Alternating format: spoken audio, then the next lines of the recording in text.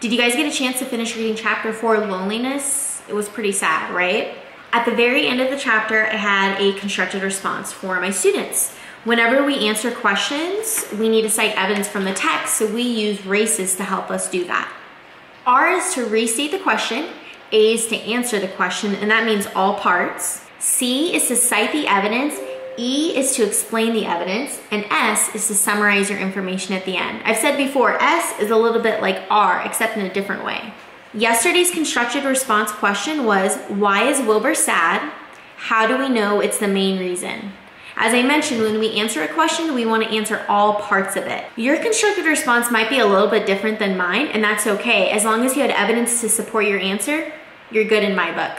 Let me begin with restating the question. Wilbur is sad because he feels alone at Zuckerman's barn. Why did you think Wilbur was sad? The second part is to answer all parts.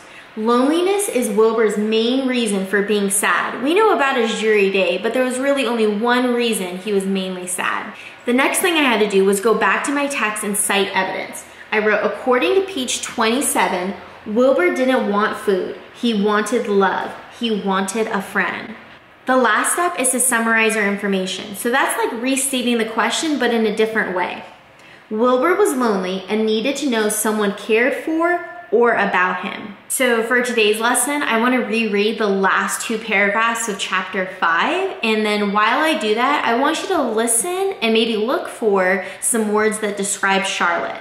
When you hear a word, pause the video and write it down on a list. And let's see if we come up with the same words. Charlotte stood quietly over the fly, preparing to eat it. Wilbur lay down and closed his eyes. He was tired from his wakeful night and from the excitement of meeting someone for the first time.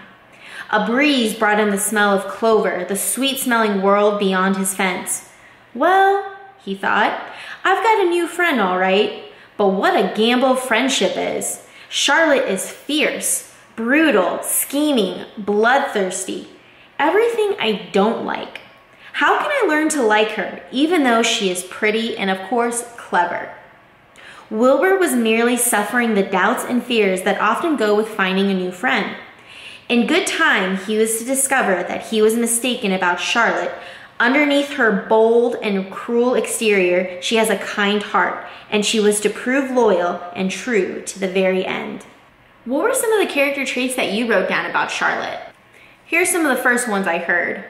Brutal, fierce, scheming. Did you hear bloodthirsty? I don't have any bloodthirsty friends, I'm vegan. But I also heard pretty and clever. Here's an activity for my friends. Take these same character traits and I want you to list them. Are these good character traits or bad character traits of a friend? I'm gonna list them below in the description, so go ahead and use them and decide, will this be a good friend or bad friend? Hope you enjoyed chapter five.